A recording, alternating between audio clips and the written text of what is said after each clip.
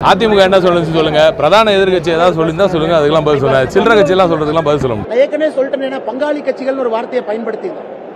களம் மாற மாற அவர்களுக்கு பயம் வருவது சகஜம்தான். பயம் எப்பொழுதுமே வரும். அவர் என்ன கோயம்புத்தூர் மக்களை சில்லறைன்னு சொல்றாரா?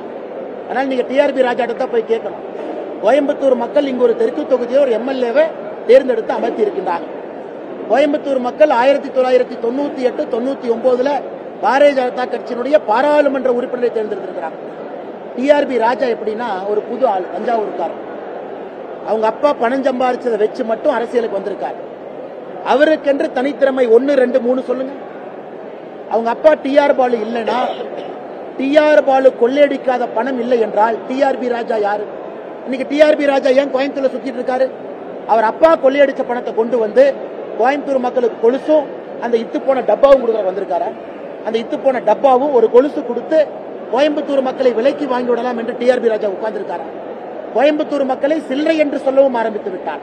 அந்த அளவுக்கு தான் இன்னைக்கு அரசியல் நாகரிகம் இருக்கு. டிஆர்பி ராஜா இருக்கட்டும் உங்க அப்பா டிஆர் பால் அவர்கள் வரட்டும் யார் வந்தாலும் கூட கோயம்புத்தூர் மக்கள் பீனிக்ஸ் பறவையை போன்றவர். சுயமாக வேறு வேறு ஊரிலிருந்து இருந்து வந்து இந்த மண்ணில தொழில் தொடங்கி இந்தியாவினுடைய முக்கியமான நகரமாக இந்த மக்கள் மாற்றியிருக்கிறார்கள் கடின உழைப்புனா என்னன்னு தெரிஞ்சவங்க கோயம்புத்தூர் மக்கள். சுயமரியாதை தெரிந்தவர் நேர்மையும் நாணயம் தெரிஞ்சவங்க. டிஆர்பி ராஜா போன்றவர்களுக்கு இந்த மண்ணில் எப்பொழுதுமே இடம் கிடையாது. பணத்தை வச்சு கொஞ்ச நாள் அரசியல் பண்ணலாம் ஈசல் பூச்சி மாறி ஈசல் பூச்சி மாறி கொஞ்ச நாளுக்கு உயிர் இருக்கும்.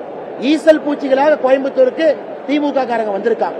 எத்தனை ஈசல் பூச்சிகள் வந்தாலும் கூட கோயம்புத்தூர் மக்கள் விரட்டடிக்க போகின்றார்கள். நான் ஏற்கனவே சொல்லிட்டேன் பங்காளி கட்சிகள் ஒரு வார்த்தையை பயன்படுத்தியிருந்தோம் களம் மாற மாற அவர்களுக்கு பயம் வருவது சகஜம்தான். பயம் எப்பொழுதுமே வரும். அவர் என்ன கோயம்புத்தூர் மக்களை சில்லறைன்னு சொல்றாரா? அதனால நீங்க டிஆர்பி ராஜாட்ட தான் போய் கேட்கணும். கோயம்புத்தூர் மக்கள் இங்க ஒரு தெற்கு தொகுதியை ஒரு எம்எல்ஏவை தேர்ந்தெடுத்து அமர்த்தி இருக்கின்றாங்க கோயம்புத்தூர் மக்கள் ஆயிரத்தி தொள்ளாயிரத்தி தொண்ணூத்தி எட்டு தொண்ணூத்தி ஒன்பதுல பாரதிய ஜனதா கட்சியினுடைய பாராளுமன்ற உறுப்பினரை தேர்ந்தெடுத்திருக்கிறாங்க டிஆர்பி ராஜா எப்படின்னா ஒரு புது ஆள் தஞ்சாவூர்காரர். அவங்க அப்பா பணம் சம்பாதிச்சதை வச்சு மட்டும் அரசியலுக்கு வந்திருக்காரு. அவருக்கென்று தனித்திறமை ஒன்னு ரெண்டு மூணு சொல்லுங்க.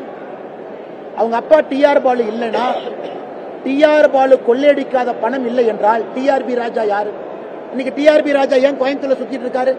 அவர் அப்பா கொள்ளையடிச்ச பணத்தை கொண்டு வந்து கோயம்புத்தூர் மக்களுக்கு கொலுசும் அந்த இத்து போன டப்பாவும் கொடுக்குற வந்திருக்காரு?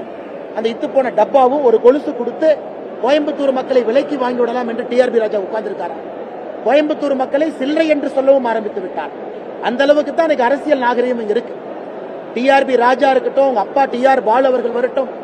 யார் வந்தாலும் கூட கோயம்புத்தூர் மக்கள் பீனிக்ஸ் பறவையை போன்றவர்.